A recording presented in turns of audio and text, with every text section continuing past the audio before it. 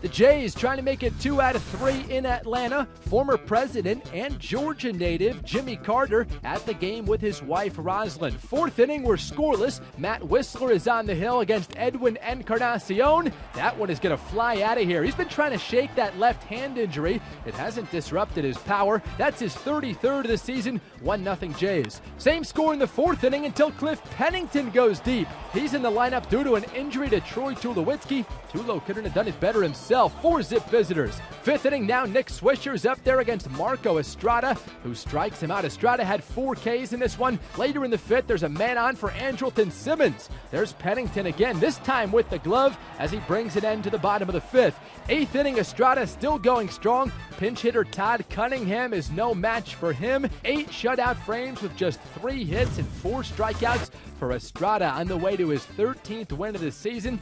Josh Donaldson also crushed his 39th homer in this game. The Blue Jays will open up a series with the Red Sox north of the border on Friday. As for the Braves, they'll continue their homestand with the Phillies on Friday night.